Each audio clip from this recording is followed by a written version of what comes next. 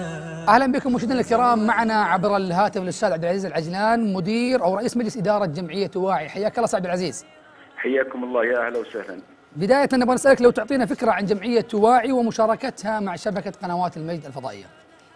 آه، طبعا أول شيء أنا أشكر الحقيقة قناة المجد على هذه ال- ال- الدعوة للحديث عن جمعية واعي، جمعية واعي هي جمعية خيرية تقدم خدمة نوعية تهتم في تنمية الوعي والسلوك الحضاري لدى الفرد والأسرة والمجتمع وتفعيل طاقات الأفراد والمؤسسات وتأتي برامج برامج الجمعية في عدد من المجالات ومنها الوعي الأمني والمالي والتقني و- والأسري.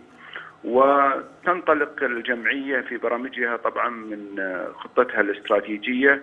اللي أعدها مجموعة الحقيقة من المختصين لتتوافق مع رؤية المملكة 2030 وتلبية احتياجات جميع أفراد آه، المجتمع. أسسها مجموعة من رجال الأعمال ومجموعة من الأكاديميين لخدمة هذا الوطن المعطاء وللمحافظة الحقيقة على ال ال ال ال ال الأسرة ال- ال- ال- في المملكة العربية السعودية. فمن أهدافنا مثلا الريادة في تحقيق الوعي المجتمعي وتنمية الوعي لدى الأفراد والمؤسسات وتحقيق رضا المستفيدين.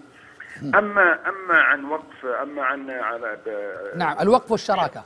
الوقف والشراكة مع مع قناة المجد الحقيقة إحنا في وقف تحت مسمى وقف بيتي حياة.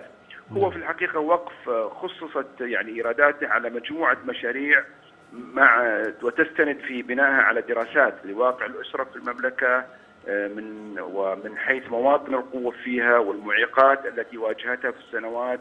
الأخيرة. ولا تنسى أن الأسرة اليوم والأفراد بحاجة إلى التوعية. التوعية في المجال المالي التوعية في المجال السلوكي التوعية في الصحة التوعية في إعداد ميزانية للأسرة.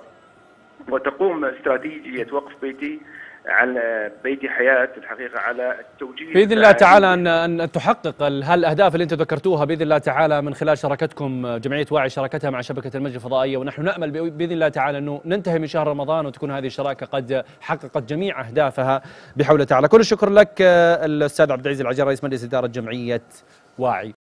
شبكة المجد القنوات الآمنة للأسرة.